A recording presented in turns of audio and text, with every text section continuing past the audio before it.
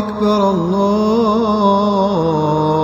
الله أكبر بسم الله الرحمن الرحيم الحمد لله رب العالمين والصلاة والسلام على أشرف الأنبياء والمرسلين نبينا محمد وعلى آله وصحبه أجمعين Today inshallah we're going to be speaking about the month of Shawwal. This is uh, the series that we began uh, at the beginning of the Islamic year going through the different Islamic months and each Islamic uh, month which begins uh, we go through those uh, months and the virtues of those months and today inshallah which is corresponding to the 4th of Shawwal we're going to be, of course, speaking about the month of Shawwal, the virtues of the month of Shawwal, the benefits of this month, the origins of this month, and we'll also speak about uh, significant events which took place in the month of Shawwal throughout Islamic history.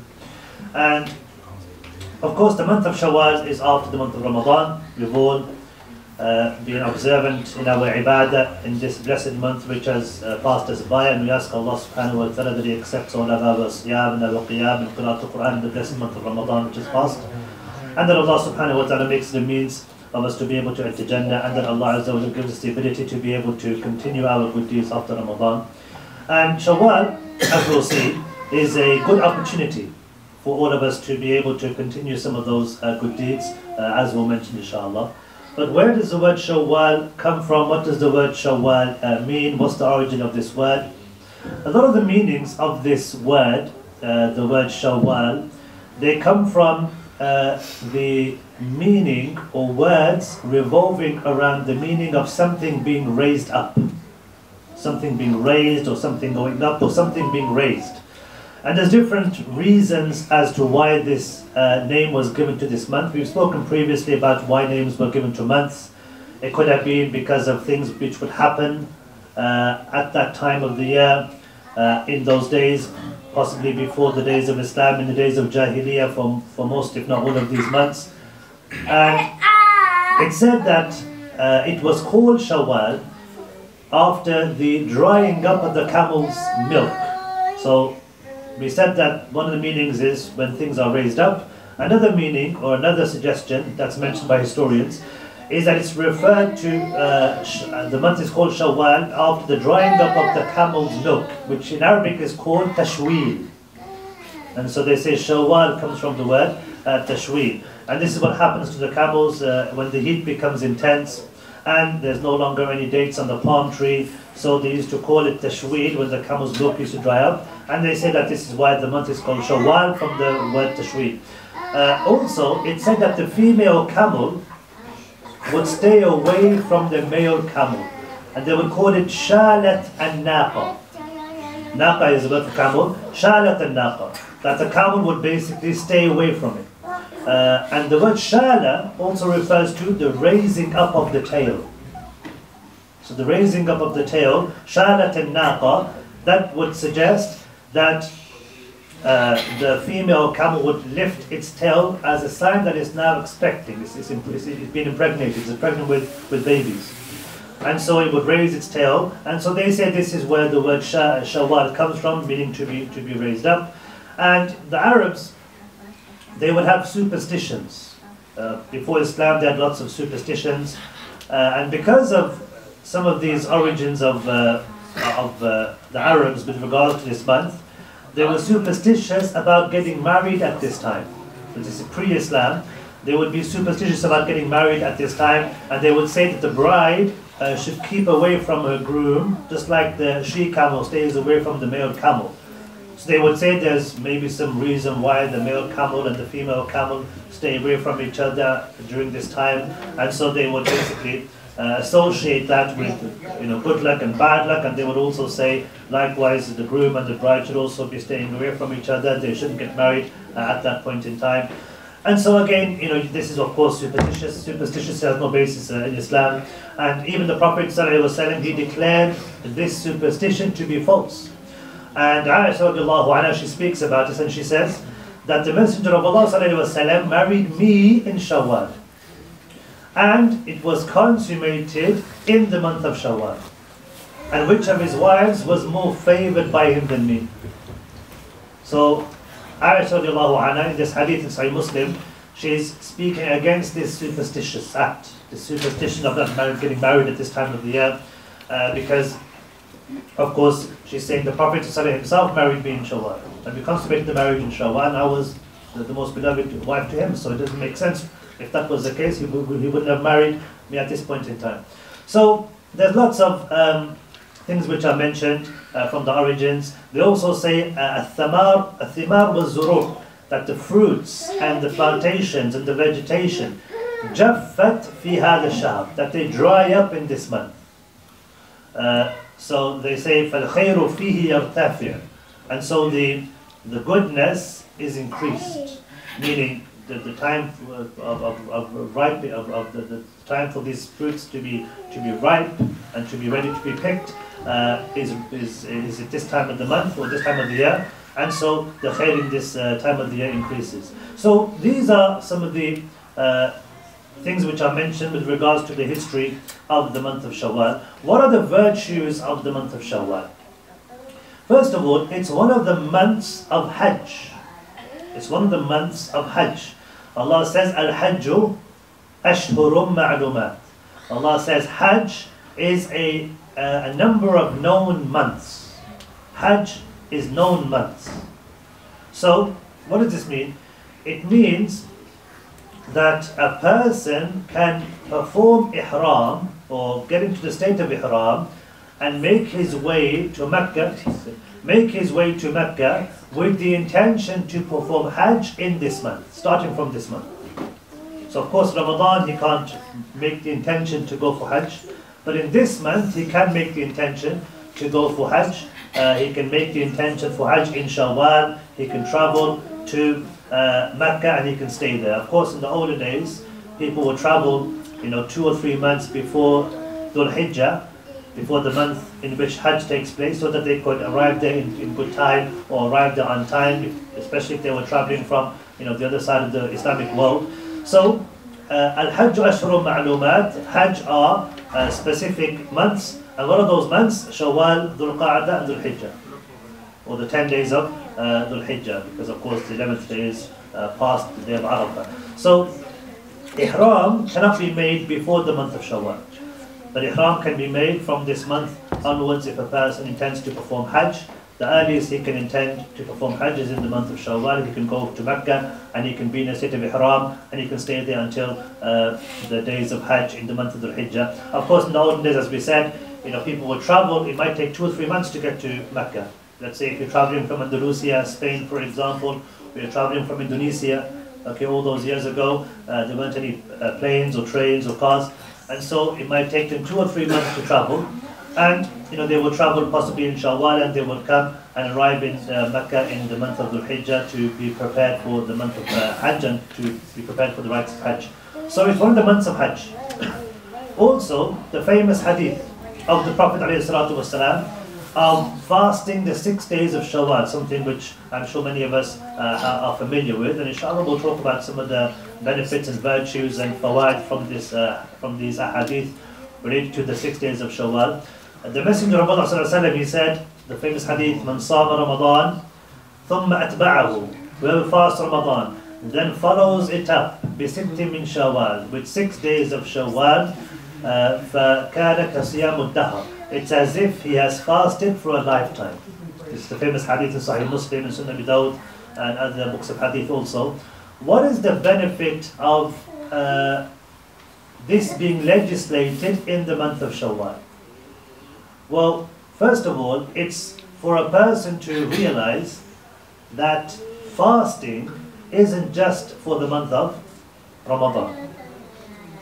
When you hear this hadith, it makes you realize, okay, fasting isn't just something I should be doing in the month of Ramadan, it's something that I should also be doing outside of the month of Ramadan.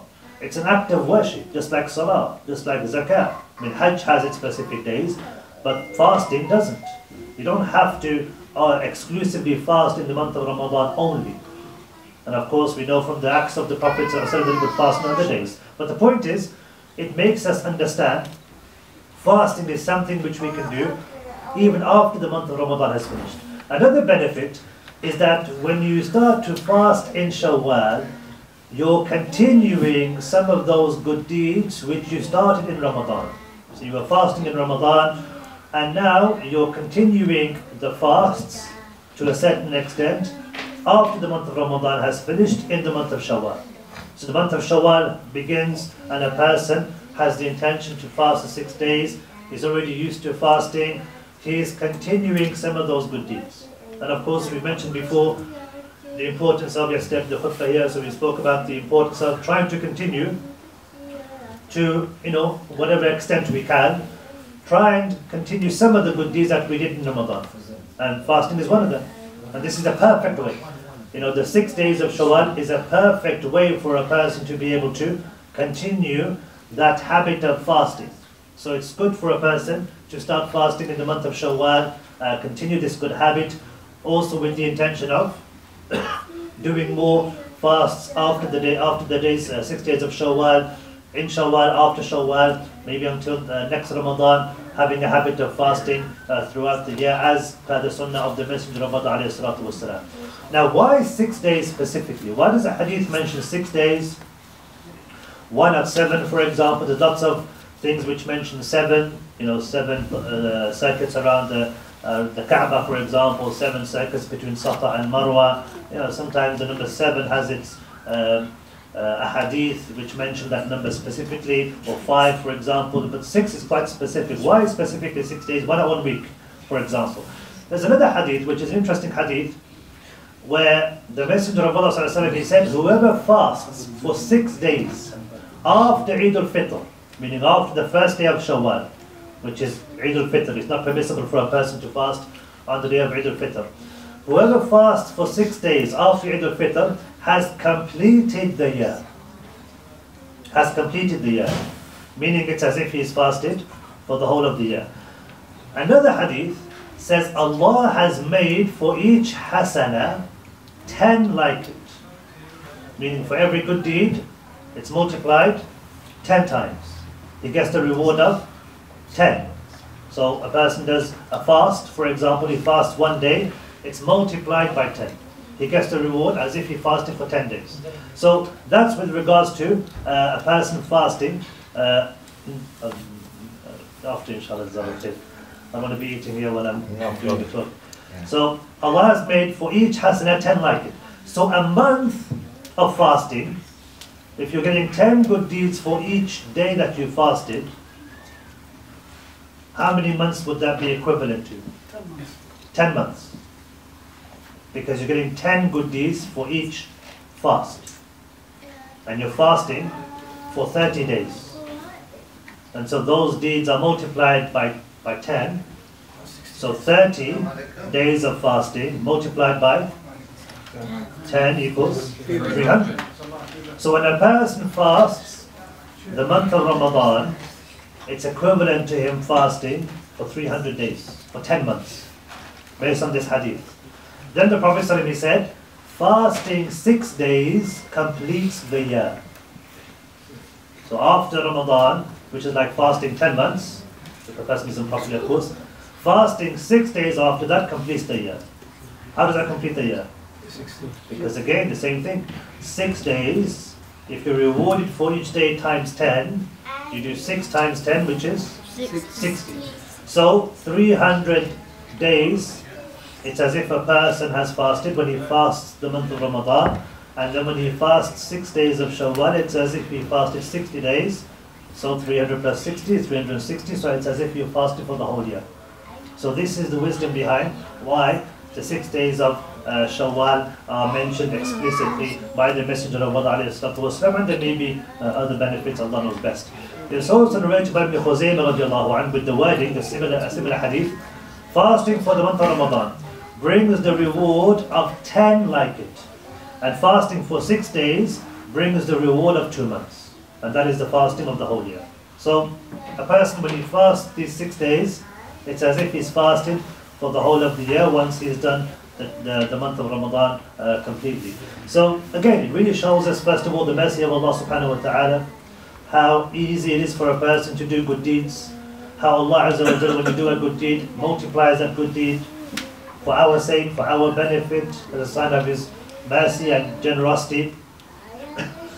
and also, it's a means by which a person can continue those good deeds as we mentioned.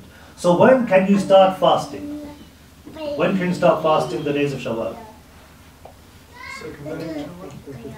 Second day of Shawwal. First day, it's not permissible. It's haram for a person to fast on the day of Eid. So the days of Eid is something which isn't permissible. These are the days of celebration. After the first day of Shawwal, it's permissible for a person to uh, fast the days of Shawwal, the second, third, fourth, uh, until the end of Shawwal. Uh, can he fast them consecutively? Yes. Meaning in a row? Yes. Yeah, you can. There's no, uh, there's no prohibition uh, for a person to fast, for example, uh, the six days of Shawwal consecutively if he wishes to.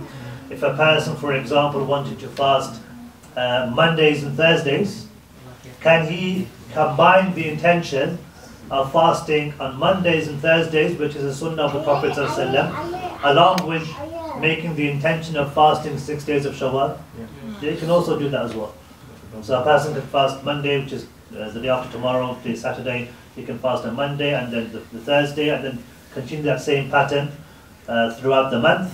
And then after Shawwal, Dhul Qa'dah, he can do the same thing. you carry on Mondays and Thursdays. Just keep on getting into a routine of fasting Mondays and Thursdays is something good. Uh, there is no Allah knows best any preference. To be honest, it's based on the individual. So uh, some of the du'at, some of the scholars they would mention, for example, uh, to enjoy these initial days of Shawwal, the first few days. You know, based on narrations which mention that these are days of the days of uh, days of Eid are days of eating and drinking. Uh, to take a break to distinguish between uh, Ramadan and Shawwal, etc. But if a person wants to start on the second of Shawwal and uh, start straight away, nothing wrong with that either. It all goes back down to his intentions, you know, back to his mindset. Uh, for example, some people they might want to start on the second of Shawwal because they want to do the second, third, fourth, all, all the way to the eighth. They want to do like six in a row. As soon as Eid finishes, second of Shawwal, they just want to start.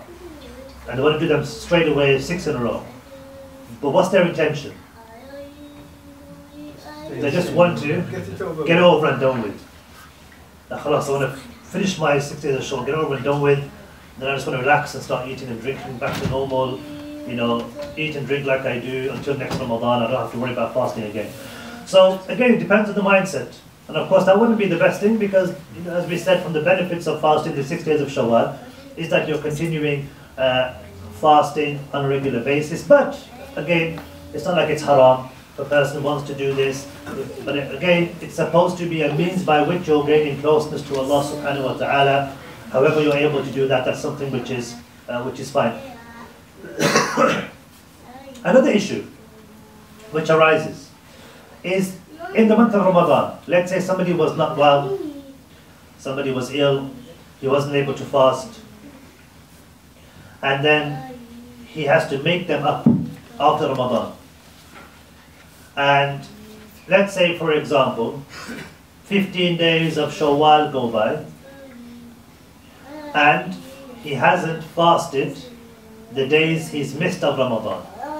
And he missed 10 days of Ramadan. So it's the 15th of Shawwal, and he's looking back thinking, I need to make up those 10 days of Ramadan. And he missed 10 days. But also he's thinking, I need to, I want to fast the six days of Shawwal. Which one does he do first? Because now he's in a problem. Because if he does the 10 days that he missed in Ramadan, what day is it going to finish?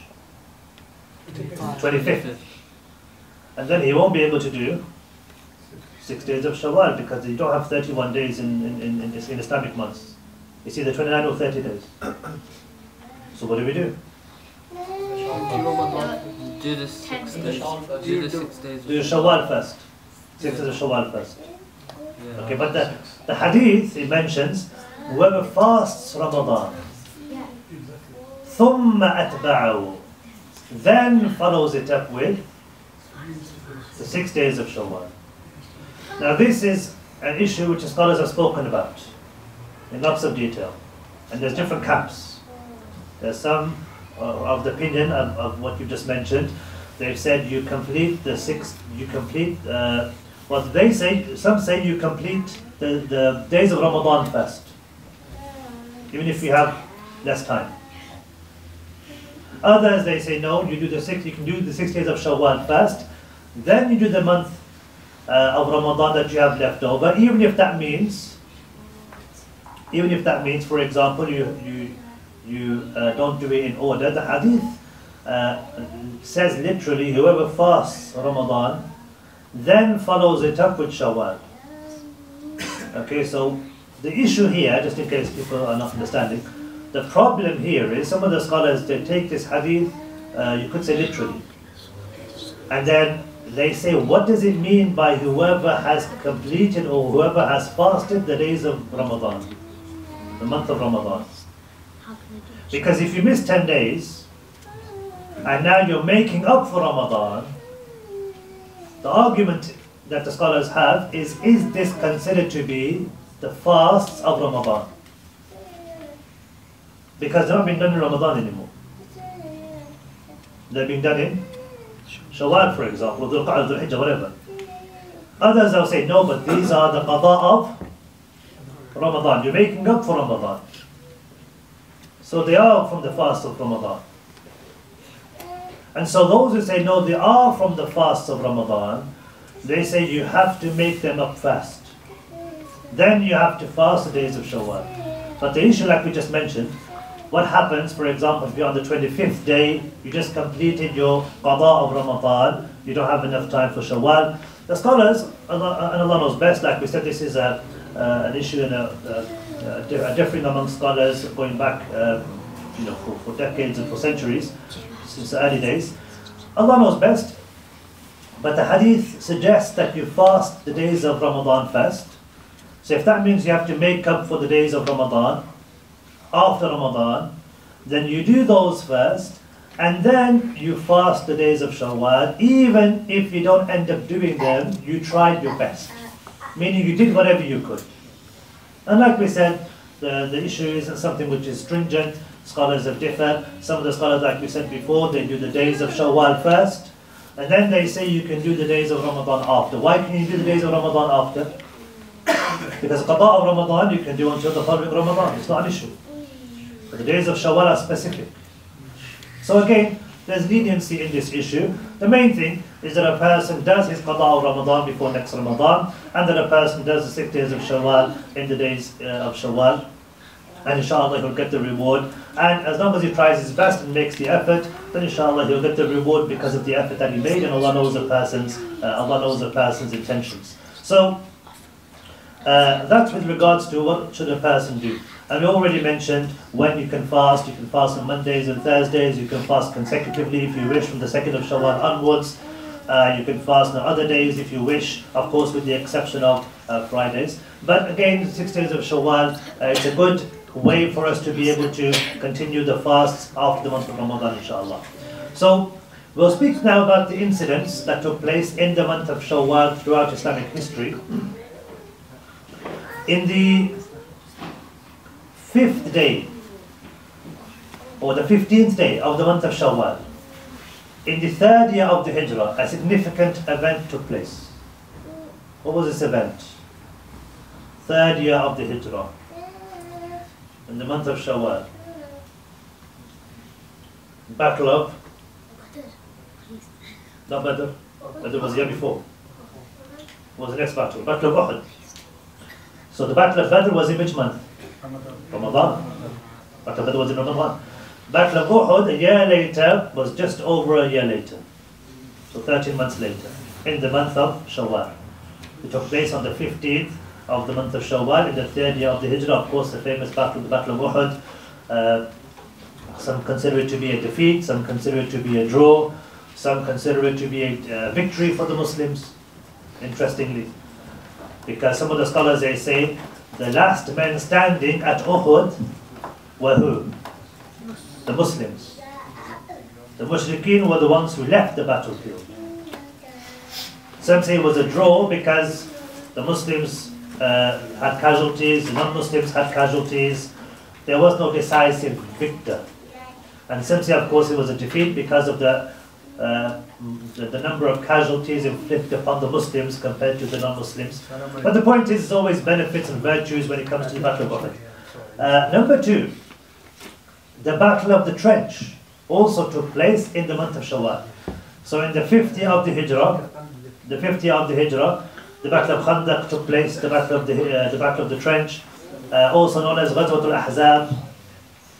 Uh, this took place two years after the Battle of Uhud, uh, and of course this was between the Muslims and all of the Arabs. Ahzab literally means parties or tribes or confederates. They all allied together, all the Arabs, to fight against the Muslims, all the Mushrikeen of Arabia. And the Battle of the Trench was a victory for the Muslims. The goal of trying to destroy all the Muslims and kill them all uh, wasn't successful by the disbelievers. And the Muslims were victorious. The famous trench that was dug around Medina at the advice of Salman al-Farsi radiallahu was something which was used as a tactic at the Battle of the Trench. And uh, the Muslims were victorious. And that's also something which took place in the month of Shawwal. Uh, also from the incidents was the death of one of the wives of the Prophet ﷺ, uh, Sauda bint Zam'a. Sauda bint Zam'a. Sauda radiallahu anha was from the early Muslims, from the early people to accept Islam, and she made the hijrah uh, along with her husband to Abyssinia, and she was the first person after her husband passed away to marry the Prophet ﷺ after the Prophet ﷺ's wife Khadija radiallahu anha passed away. So Sauda radiallahu anha was the first person the Prophet ﷺ married after the death of Khadija radiallahu anha. And this was either just prior to the hijrah or just after the hijrah. Some say it was prior to the hijrah because of her being in Abyssinia. And there's a famous story which is mentioned uh, about uh, Sauda radiallahu anha. She was older in age. She was somebody who was older in age. And the narrations mention that she gave, because the Prophet ﷺ would have nights uh, for each of his wives. And so it said that Sauda radiallahu anha gave up her night uh, and gave it to Aisha radiallahu anha. She gave it to Aisha radiallahu anha and she didn't want what the other wives wanted from the Messenger of Allah والسلام, because she was obviously older in age. And, uh, you know, she mentions uh, that she wanted to be raised up uh, as uh, one of the wives of the Prophet ﷺ on the day of judgment, and she wanted that reward on the day of judgment for her sacrifice, etc. And this is something which Allah subhanahu wa ta'ala uh, mentions in the Quran. Allah mentions this incident of Sauda radiallahu anha giving up her night. Allah subhanahu wa ta'ala says in Surah Nisa, وإن امرأة خافت من بعلها نشوزا أو إعراضا فلا جناح عليهما أن يصلح بينهما صلحا. Allah says if a woman fears indifference or neglect from her husband, there is no blame on either of them if they seek fair settlement. وصلح خير and uh, fair settlement is best. And uh, Sauda radiallahu anha uh, gave up her night without any issues, uh, of course, uh, for her without any concern from her side or from the side of the Prophet ﷺ. and so they, there was there was this uh, re reconciliation and she gave the night to Aisha and she passed away uh, in uh, this uh, in this month also. So these are some of the events which took place in the month of Shawwal and this was just in an overview of the month of Shawwal. Most importantly brothers and sisters we need to try to be consistent to whatever capacity we can uh, to continue some of those good deeds that we began in the month of Ramadan. In the month of Shawwal, Allah is facilitating for us to be able to fast in this month so that we can continue some of those good deeds uh, after Ramadan, inshallah. And we ask Allah subhanahu wa ta'ala that He gives us the ability to be able to continue those good deeds uh, post Ramadan. Uh, and inshallah, if there's any questions, then I'll do my best to answer them, inshallah. Any questions? Uh, I had a question. Regarding praying the six days of Shawwal before... Fasting. Yeah, yeah, fasting, excuse me. Before the Qada of Ramadan, um, was that regarding what is like valid? It's it's not batil to do that? Or is it khilaf al-awwal or is it... So, the scholars, when they spoke about this, uh, this issue, they were differing opinions. And uh, there's khilaf on the issue. Some of them would, would take the issue literally, and so they would say that because these are fasts that you took that are that are and that need to be made up for in the month of Ramadan itself, uh, they have to be done first before the six days of Shawwal can be applied. So it was considered something that was necessary. Mhm. They considered to be a, con- a condition. So the scholars who take this, who take the position that you can, they still follow the general rule that you don't do a sunnah before you do a fard.